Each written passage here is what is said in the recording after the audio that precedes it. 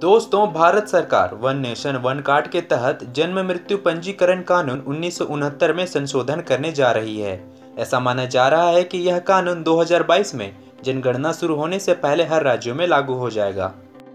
इस नए कानून के लागू होने के बाद न सिर्फ़ जन्म और मृत्यु का पूरा डाटा केंद्रीय स्तर पर जमा होने लगेगा, बल्कि इस डाटा के आधार पर एनपीआर यानी national population registrar, Aadhaar, driving licence और पासपोर्ट समेत दूसरे डाटा भी अपडेट हो जाएँगे। इस कानून के प्रभावी होने से जन्म मृत्यु का पूरा फॉर्मेट एक हो जाएगा। यानी कि पहले कानून की तरह अलग अलग जन्म मृत्यु प्रमाण पत्र की आवश्यकता नहीं रह जाएगी। इसके लागू होने से सभी राज्यों के स्तर पर ही एक प्रकार के डाटा तैयार हो सकेंगे और इन्हीं डाटा से केंद्र सरकार अपने बाकी डाटाबेस को अपडेट करेगी।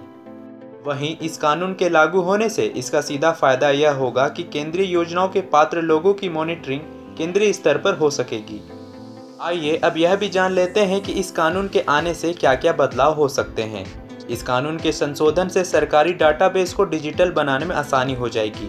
आपको बता दें कि अभी राज्यों के पास सभी मैनुअल आंकड़े मौजूद हैं। इस कानून के आने से हर राज्य को ये आंकड़े डिजिटल करने होंगे। इससे पूरी प्रक्रिया एक ऑनलाइन मोड पर आधारित हो जाएगी।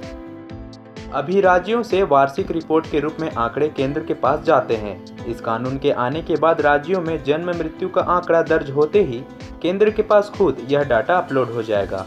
आखिर इस पूरे प्रक्रिया को चलाया कैसे जाएगा, यह भी जान लेते हैं। इसके तहत हर राज्य में राज्य सरकार की ओर से नियुक्त चीफ रजिस्ट्रार को केंद्र की ओर से तय किए गए फॉर्मेट में यूनिफाइड डाटा रखना होगा और इसे केंद्र में रजिस्ट्रार जनरल ऑफ़ इंडिया को भेजना होगा। आपको बता दें कि इस कानून से भारत में होने वाली जनगणना पर भी प्रभाव पड़ेगा। इस कानून के आने से जनगणना के हर 10 साल बाद मिलने वाले आंकड़े का इंतज़ार खत्म हो जाएगा। इसी के साथ जनगणना में खर्च होने वाले दस हज़ार करोड़ रुपए भी बचेंगे। आखिर केंद्र में डाटाबेस बनने से क्या लाभ होंगे, यह भी जान लेते हैं। दोस्तों, भारत में कई तरह के पहचान कार्ड मौजूद हैं। इनमें Aadhaar card, licence, passport, ration card, मतदाता प्रमाण पत्र आदि शामिल हैं। और इस तरह के डाटा बढ़ते जनसंख्या के साथ साथ बढ़ते ही जा रहे हैं। और किसी की मृत्यु के बाद भी यह डाटा सक्रिय रहते हैं। केंद्रीय स्तर पर ताज़ा डाटा होने से मृतकों के डाटा को पूरे स्तर से हटाया जा सकेगा। वहीं इस कानून में नए प्रावधान के साथ अनाथ, सड़क पर बेसहारा छोड़े गए या गोद लिए गए बच्चों के प्रमाण पत्रों को भी केंद्रीय कानून के ज़रिए मान्यता दी जाएगी। इससे सामाजिक सुरक्षा को भी बढ़ावा मिलेगा।